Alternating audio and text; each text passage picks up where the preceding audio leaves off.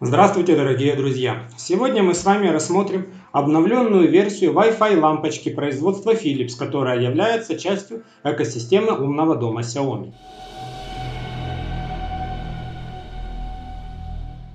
Начнем с параметров лампочки. Мощность ее 9 Вт. Напомню, что в первой версии было 6,5. Стоколь стандартный E27. Цветовая температура 2700 градусов Кельвина и она не меняется. Максимальная мощность светового потока 806 люмен. Индекс цветопередачи равен 80. Угол луча света 180 градусов. Беспроводный интерфейс Wi-Fi 2,4 ГГц. Поставляется лампочка в картонной коробке в сдержанном стиле экосистемы. Название производителя, а также логотипы Amazon Alexa и Google Home выполнены в цвете. На одной из боковых граней класс энергопотребления указано значение 9 кВт-часов на 1000 часов. Сзади описание и технические характеристики. Это глобальная версия продукта. Обычно все описания на китайском. Тут на шести языках, в том числе и на русском. То же самое касается и инструкции, которая представляет собой многократно сложенный лист глянцевой бумаги с печатью на двух сторонах. У Акара, например, для международных версий она в виде книжечки. Раздел на русском языке тоже присутствует, хотя никаких сложностей с настройкой здесь нет. Устройство имеет классический дизайн светодиодной лампочки с цоколем под патрон E27, белым пластиковым корпусом и полупрозрачным круглым колпаком над светодиодами. В масштабе с лампочкой от E-Light и аналогичной по мощности ZigBee лампочки от Akara она выглядит несколько меньше. К сожалению, первых версий Philips у меня не осталось, но похоже, что новая версия все-таки немного ее крупнее. Так как это глобальная версия, при настройке локации материковый Китай эта лампочка приложением не обнаруживается. Для подключения необходимо сменить локацию на Европу, Сингапур или Россию. Соответственно, вся инфраструктура, подключенная на материковый Китай, взаимодействовать с лампочкой не сможет. В новой локации лампочка находится в гордом одиночестве. Плагин внешне похож на другие светильники Philips, входящие в экосистему, но в урезанном виде. Так как на лампочке регулируется только яркость, вкладки со сценами по умолчанию нет. Только включение с регулировкой яркости по вертикали и вкладка таймера.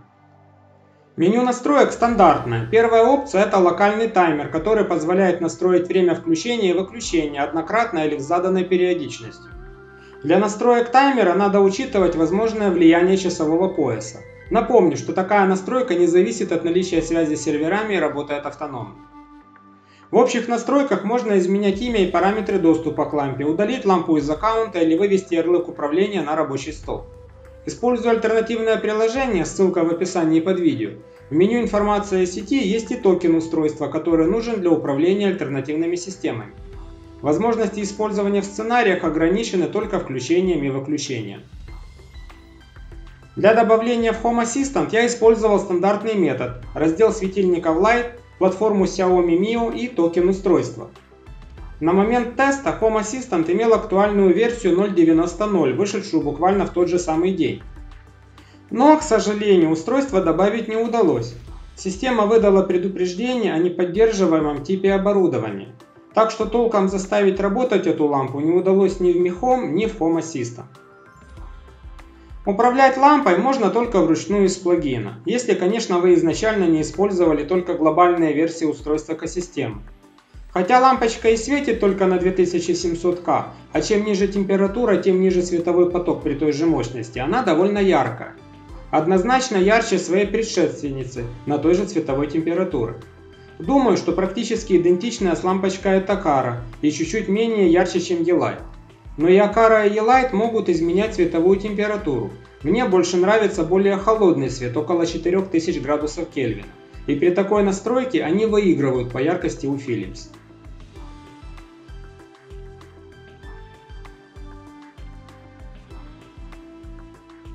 И хотя в большинстве случаев я рекомендую к покупке новинки экосистемы умного дома Xiaomi, и они этого действительно стоят, то в данном случае покупка этой лампочки, на мой взгляд, является совершенно бессмысленной затеей.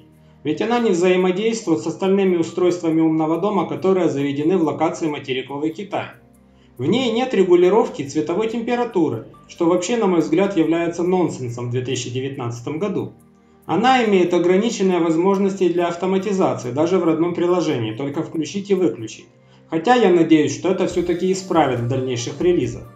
Также лампочка не поддерживается альтернативной системой Home Assistant, хотя здесь тоже можно надеяться, что эту поддержку рано или поздно включат. Мне кажется, что для работы с системой Mi Home лучше приобрести ZigBee лампочку Akara. Она аналогичная по мощности, почти такая же по цене и при этом нормально регулирует и яркость, и цветовую температуру и взаимодействует с остальными устройствами. Если вы предпочитаете использовать альтернативные системы, то лучше немножко переплатить и взять лампочку от Elight, которая отлично себя зарекомендовала. На этом все. Если у вас остались вопросы, задавайте их в комментариях к этому видео. Если видео вам понравилось, ставьте лайки. Если вы не хотите пропускать новые выпуски, подписывайтесь на мой канал. Дальше будет еще интереснее.